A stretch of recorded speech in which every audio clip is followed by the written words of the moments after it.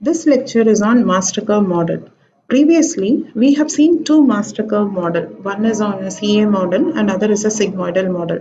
These two models are used in the performance grading of binder and in the mechanistic empirical design of a flexible pavement. We will see three more commonly used model that are Dobson model and Jongepier and Kuilman's model and third one is a Dickinson and Witt's model. Understanding this model will help you to select the suitable shift factor across different range of frequency. You will also understand that these shift factors are temperature dependent and frequency dependent. Also, there are different viscoelastic parameters such as zero shear viscosity, glassy modulus, crossover frequencies. All these parameters are related to um, the master curve constructions. So you will see the influence of these parameter in the mathematical model given for a master curve. Also, it will uh, help in construction of the master curve. So first we will see Dobson model. In a Dobson model, he gave a mathematical expression to describe the dynamic modulus. So he has given a dynamic modulus expression as a function of some reduced frequency. So for this purpose, he used a laboratory determined dynamic modulus and phase angle measured over a range of frequencies at different temperature. So first he shifted the dynamic modulus measured at different temperature to a reference temperature using a predetermined shift factor and, uh, and given a mathematical model to this master curve. So for this purpose, he assumed two assumptions relating three parameters. One is a phase angle, another one is a dynamic modulus, and third one is a relaxation spectrum. The highlight here is uh, phase angle and dynamic modulus are a frequency mode measure and the relaxation spectrum is a time mode measure. So the first two expressions gives you the assumption here. In the first assumption, the slope of a relative dynamic modulus GR is with respect to reduced frequency is dependent on tan delta. So the GR is nothing but the ratio of dynamic modulus measured at any frequency to a glassy modulus in a logarithmic scale. The definition of a glassy modulus here is same as previously defined. Omega r is a reduced frequency which depends on the frequency, experimental frequency, shift factor and zero shear viscosity eta, eta naught and the glassy modulus Gg. The another relations relate phase angle and dynamic modulus to relaxation spectrum. To understand more on the relaxation spectrum, Previously, we have seen that uh, bitumen exhibit different relaxation time and the suitable model to predict the bituminous behavior, bituminous material behavior is a generalized Maxwell model. So generalized Maxwell model with different relaxation time predicts the behavior of bitumen. So um, this relaxation time can be expressed in two forms. Either it can be expressed in a discrete form or in a continuous form. Assuming that the relaxation time are related, uh, are taken in a continuous spectra. So the width of the relaxation spectra is represented as B here. So for more details on a relaxation spectrum or a continuous relaxation spectrum there is a lecture by Professor Murali Krishnan so please go through the lecture and visit back this master curve model for a clear understanding so finally the master curve equation proposed by Dobson is of a two form one is uh, one form is for a reduced frequency greater than some function of relaxation spectrum and other is a reduced frequency less than the same form of a relaxation spectrum so master curve has a two form here. Now you can see uh, uh, this master curve form, this function depends on the width of the relaxation spectrum and the reduced frequency. So the reduced frequency in turn depends on the shift factor. So now what is this shift factor that um, Dobson has used in the construction of master curve? So he have used two, two different shift factor. One is, uh, one set of shift factor is for temperature uh, T less than TR Another is for the temperature greater than TR. TR is a temperature corresponding to the ring and ball test that is a softening point temperature here. So you can see that the shift factor is determined using a WLF equation, William Landel Ferry equations. So the first set of shift factor has a constant C1 minus 12.5 and C2 142.5. So these shift factors are different from a standard constant C1, C2 that we have seen before. And you can see an, another set of uh, shift factor where T greater than TR, which is, which is same as a universal constant C1 and C2 here. So uh, one set of shift factor is failed here in predicting a, over a range of temperature. The highlight here is Dobson used two set of shift factor. One for the range where the temperature is less than a softening point, another for the range where the temperature is greater than the softening point. So the next model is Jongepier and Kuilman's model. For, for this master curve expression, he used a relaxation spectrum. So first he defined a relaxation spectrum for bitumen as a log normal distribution.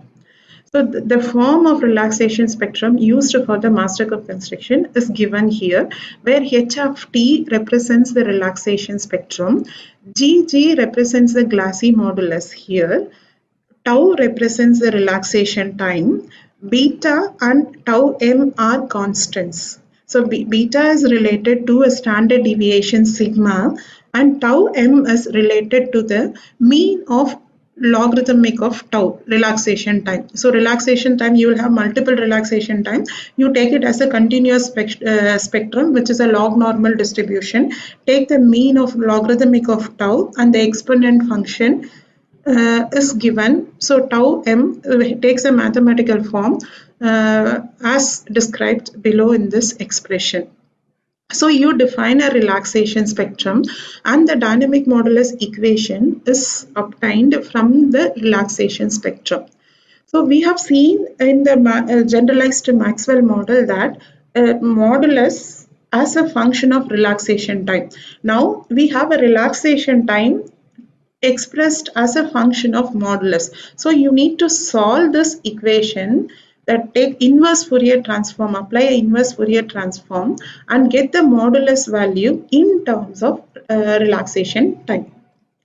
So uh, applying an inverse Fourier transform, you get the storage modulus and loss modulus of the form given here.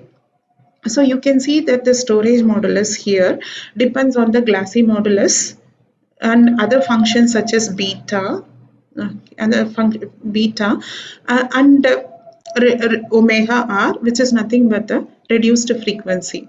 So uh, you, you get the complex integral form for a storage modulus and loss modulus. So these storage modulus and loss modulus are not an independent functions and they depend on each other. So you get a complex equation here to describe the storage modulus and loss modulus. So uh, Jongepier used the WLF equation to give the shift factor. So the uh, WLF equations, but the constant C1, C2, which he used is not a universal constant, but he predicted with the experimental data conducted collected for different binders. So the C1, C2 value varied with different binder. He used Vogel equations, which is a viscosity dependent on a temperature T to determine the constants C1 and C2. So you have a logarithm of viscosity dependent on temperature here. Here A, B and T naught are constants. So now this B value here, if you uh, knowing the viscosity eta and at, at a different temperature, you can predict these constants A, B and T naught. So this B is nothing but the product of C1 and C2 so getting this uh, determining this value a b and t naught from the experimental result will help in estimation of c1 and c2 so the highlight here is this uh, constant c1 c2 are not a universal constant but it varies with the different binders the next model is Dickinson and Witts model. So he used hyperbolic equations to describe the dynamic modulus and phase angle of a binder. So you can see two expression here. One is for a dynamic modulus and other is for a phase angle. So you see here the relative modulus which is gr as a function of omega is related to reduced frequency and another factor beta by a parabolic function. This is a curve fitting function given for a master curve but this beta is a, a, shear susceptibility factor which depends on the material. So you have two different expressions, um, one for a dynamic modulus and other for the phase angle. But these two expressions are related to each other. So we will see how these two expressions are related to each other. Uh, first we will see what is shear susceptibility factor, beta here. Uh, in this equation, GR, which is nothing but the dynamic modulus, relative dynamic modulus, is the same as, as defined before. Uh, and uh, omega is also same as, as defined before. And beta, which is nothing but the shear susceptibility factor, is determined from the dynamic modulus. So we know uh, that dynamic modulus has uh, is like uh, has a two asymptote. One is where the asymptote at uh, reduce, uh, reduced with the less reduced frequency, that is lower value, Another is at the uh, uh, other asymptote at, at, the higher frequency. So at a higher frequency corresponds to the glassy modulus and lower frequency corresponds to the zero shear viscosity. So you select the point where, uh, where omega r is equal to 1 or a crossover frequency. So at from omega r equal to 1 or a crossover frequency where storage modulus and dynamic modulus are equal to the point of glassy modulus gives you the shear susceptibility.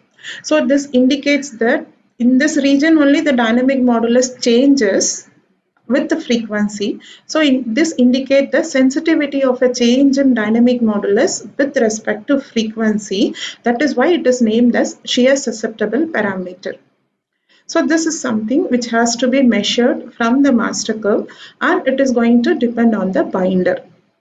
So now you have two different functions. One function for a uh, complex modulus or a dynamic modulus and other function is for a phase angle. Here the term dynamic modulus and complex modulus are interchangeably used. So complex modulus or a dynamic modulus here it is uh, assumed to be the same.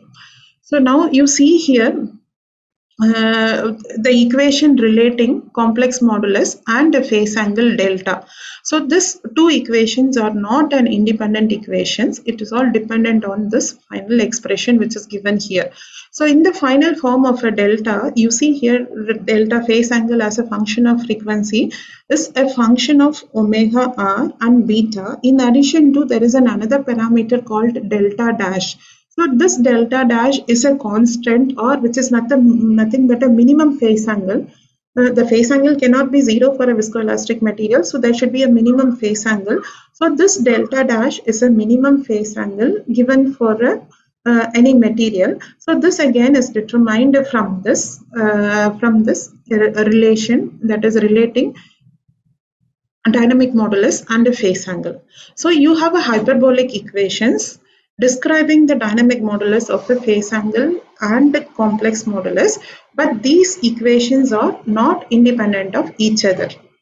So this equation uses a shear susceptibility factor in constructing a master curve.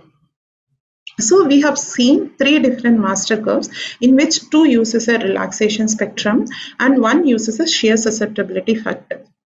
So uh, just to quickly summarize, we have seen uh, that shift factor uh, to to predict the shift factor for the construction of a master curve, William-Landel-Ferry equations was commonly used, but uh, this constants in a William-Landel-Ferry equations that is C1 and C2 are found to be different for different temperature ranges and it is also varies with binder.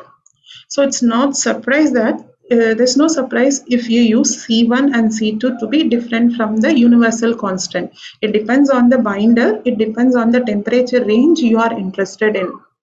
And We have also seen that the glassy modulus, shear susceptibility factor, crossover frequency are to be experimentally determined and to be used in the uh, fitting of a master curve. Thank you so much.